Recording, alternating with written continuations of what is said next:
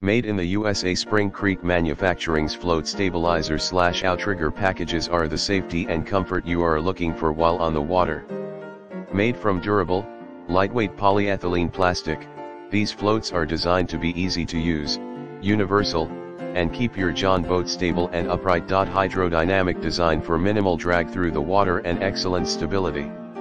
Easily adjustable with locking cam lever arms. Color options, gray, red, and yellow. Floats measure 37 long from tip to tip UNIVERSAL receiver sizing, listed as display length the universal receiver crossbar is made in different lengths to fit most Jon boats.